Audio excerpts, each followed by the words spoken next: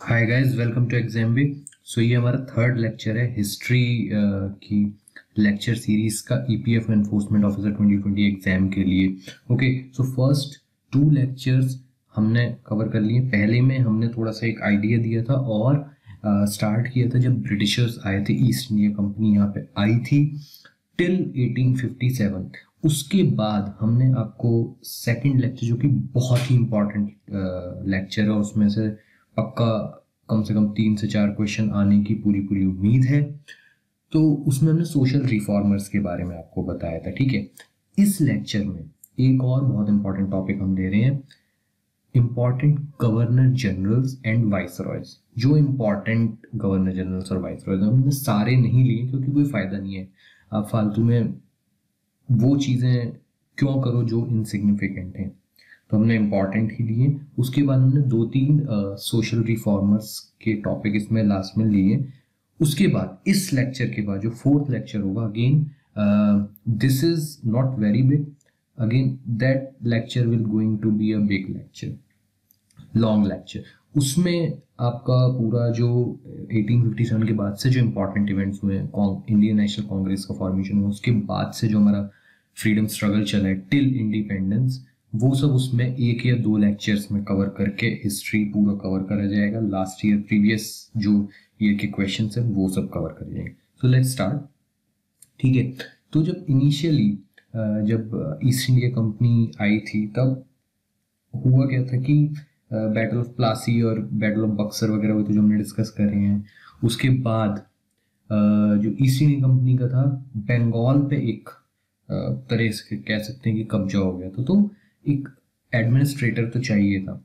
तो जो इनिशियली जो पोस्ट का जो नाम था वो था governor general of Bengal Lord Warren Hastings 1772 से 1785 में ये आ, हमारे फ़र्स्ट गवर्नर जनरल थे बंगाल के इसलिए ये सिग्निफिकेंट है और इन्हें इनका आपको नाम पता होना ज़रूरी है कि पहले गवर्नर जनरल ऑफ़ बंगाल कौन थे? लॉर्ड वॉरन हॉस्टिंग्स फिर लॉर्ड कॉर्न कॉर्नवालिस आए। इन्होंने introduce permanent settlement of Bengal introduction of civil services in India तो ये कुछ रिफॉर्म्स वगैरह लेके आए थे परमानेंट सेटलमेंट ऑफ़ बंगाल के बारे में आप चाहो तो पढ़ सकते हो, जमींदारी सिस्टम से रिलेटेड है। फिर Lord Wellesley he adopted the policy of subsidiary alliance, which is a system to keep Indian rulers under control and to make British the supreme power. तो उसमें क्या करते थे कि जो British basically East India Company British army थी, वो attack करते थे, या फिर वो संधि करते थे जो इंडियन रूलर्स छोटे छोटे प्रोविंसेस के जो रूलर रूलर्स होते थे, कि भाई एक तरीके से इस पर राज हम करेंगे और आपको हम गद्दी दे देंगे। कि आप प्रजा के लिए आप ही हो और जो आपके से आपसे रेवेन्यू कलेक्ट होता है, जितनी भी खेती बाड़ी होती है, और जो आप रेवेन्यू कलेक्ट करते हो, उसका एक हिस्सा आप ब्रिटिशर्स को दोगे। इसके बदले में ब्रिटिशर्स आपको प्रोटेक्शन देंगे। वो प्रोटेक्शन क्या होती थी? बेसिकली यही होती थी कि वो आपको अटैक नहीं करेंगे और आपका अपना राज चलता रहेगा। तो ये एक सब्सिडरी अलायंस था ये, और ये आगे जाकर 1857 के जो रिवोल्ट हुआ था, उसमें से एक कारण ये भी बना था।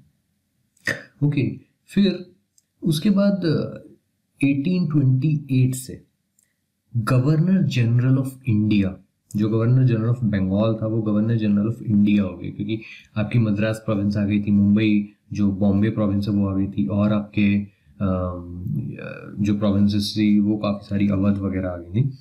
तो लॉर्ड विलियम बेंटिंग 1828 से 1835 was the first governor general of India ठीक है तो लॉर्ड विलियम बैंटिंग ने ही carried out many social reforms abolition of sati, जो प्रथा होती थी और और भी कई सारी विडो री मैरिज वगैरह जो होती थी with the help of Raja Ram Mohan Roy.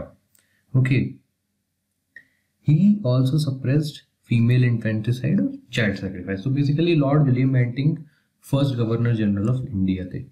ठीक है। उसके बाद लॉर्ड डलहौजी बहुत ही इंपॉर्टेंट है लॉर्ड डलहौजी क्योंकि एक तो first railway line Bombay to Thane हम पढ़ते हैं कई एग्ज़ाम्स में ये पॉइंट आता है। और फ़र्स्ट टेलीग्राफ लाइन इनके टाइम पे हुई। इन्होंने डॉक्ट्राइन ऑफ़ लैब्स इंट्रोड्यूस करा। डॉक्ट्राइन ऑफ़ लैब्स तो बहुत ही पॉपुलर है। रानी ऑफ़ झांसी का जो पूरा मसला था वो डॉक्ट्राइन ऑफ़ लैब्स पे ही था। ठीक है? और इन्हीं के टाइम पे बेसिकली लॉर्ड डलहौजी थे जब आ, ये हमारा जो 1857 का जो वॉर था उसका एक तरीके से उसके लिए आप कह सकते हो कि स्मोक बनने लगा था, ठीक है? फिर 1857 रेवोल्यूशन हुआ, the post was called viceroy 1857 के बाद ब्रिटिश एक आप कह सकते हो ब्रिटिश क्वीन, जो ब्रिटिश किंगडम था, उन्होंने ही एडमिनिस्ट्रेशन को ले लिए थे ईस्ट इंडिया कंपनी के हाथ से। तो lord Canning he was the last governor general lord Dalhousie के बाद लास्ट में जस्ट वो आए थे म्यूटिनी से जस्ट पहले तो वो last governor general of India थे और first viceroy of India थे। उन्होंने डॉक्टर ऑफ़ लैब्स अपने ये इसे वापस ले लिया था बैटल ऑफ़ फिफ्टी अपने रिवॉल्ट ऑफ़ फिफ्टी सेवन के बाद। फिर आए लॉर्ड मायो इनके टाइम पे first census of India was held in 1871 इसलिए ये पॉपुलर है लॉर्ड मायो और मेयो कॉलेज भी है. ठीक है ये आपको चेक करना है कि मेयो कॉलेज कहाँ पे है? एक नॉर्दर्न इंडिया के राज्य में है. फिर लॉर्ड लिटन आए ये फ़ेमस है ये बहुत ही रिप्रेसिव बेसिकली जो हमारे वाइस रॉय थे इनके टाइम पे दिल्ली दरबार लगा. 1877 में जबकि उस टाइम पे बहुत ज़्यादा भुखमरी भी थी इंडिया में बहुत आ, उस टाइम पे क्या हुआ था कि रेंस वगैरह फेल हो गई थी. बट फिर भी दिल्ली दरबार लगा था और क्वीन विक्टोरिया को कैसरे हिंद का टाइटल दिया गया था queen of basically queen of India ठीक है? Vernacular press act was pass in 1878 इनके टाइम पर। वर्निकुलर प्रेस एक्ट और आपका क्वीन विक्टोरिया को कैसरे हिंद मिला था लॉर्ड लिटन के टाइम पे फिर लॉर्ड रिपन आए, इनके जस्ट बाद लॉर्ड रिपन आए, उन्हें काफ़ी मॉडरेट माना गया उन्होंने इंडियन जो उस टाइम पे छोटे प्रोविंसेस के रूलर्स थे और जो लोग थे कुछ फ्रीडम फाइटर्स तो नहीं आप कह सकते बट हाँ नेशनलिस्ट जो इंटेलिजेंसिया था मोस्टली कोलकाता वगैरह से ऑपरेट करते थे वो, कैलकाटा था उस टाइम पे, कैलकाटा से तो इन्होंने काफ़ी साथ दिया था लॉर्ड रपन ने। First first factory act was passed during इस टाइम ही prohibited child labour child labour पे इन्होंने शिकंजा कसा था। Ilbert bill was pass by him तो इल्बर्ट बिल कंट्रोवर्सी आप बहुत जगह सुनोगे इल्बर्ट बिल बिल कंट्रोवर्सी भी हुई थी। ठीक है? तो इल्बर्ट बिल में बेसिकली क्या था कि जो फॉरेन जो जुडिशरी थी, वो इन पे वो नहीं कर सकती। जो इंडियन फ्रीडम फाइटर्स वगैरह थे, इनके ऊपर जजमेंट पास नहीं कर सकती। ऐसे ही कुछ इल्बर्ट बिल का कंट्रोवर्सी हुआ था। तो लॉर्ड अर्पन ने ये पास किया था। Passed local self government act in 1882 उसके बाद लॉर्ड कर्जन है। लॉर्ड कर्जन बहुत ही इंपॉर्टेंट है क्योंकि पार्टीशन ऑफ़ बंगाल हुआ था उस टाइम पे into two provinces Bengal and East Bengal में। ठीक है तो इसलिए इंपॉर्टेंट है लॉर्ड मिंटो। नाइन उसके बाद आए जस्ट मिंटो मॉडल रिफॉर्म्स आए थे, फिर lord Hardinge. Partition of Bengal was annulled और कैंसल्ड 1911 में। और जो कैपिटल था वो कैलकाटा से शिफ्ट करके दिल्ली हुआ था। तो स्टार्टिंग में कैलकाटा कैपिटल था, दिल्ली हुआ था 1911 में तो ये फैक्ट आपको याद रखना गांधी जी भी इन्हीं के टाइम में साउथ अफ्रीका से आए थे 1915 में और home rule movement was launch by Annie Besant ठीक है, फिर लॉर्ड चैम्सफोर्ड आए, उनके टाइम पर रॉलेट एक्ट हुआ।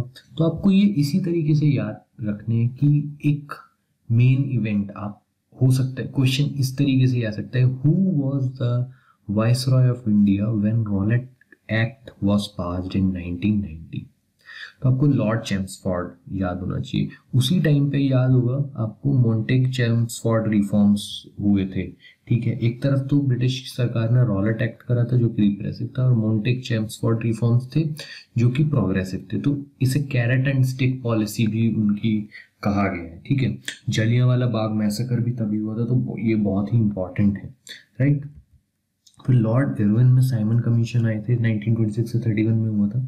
डांडी मार्च इनके टाइम पे तो सिविल डिसोबीडियंस मूवमेंट इनके टाइम पे हुआ था और Gandhi Irwin pact, lord Irwin से हुआ था।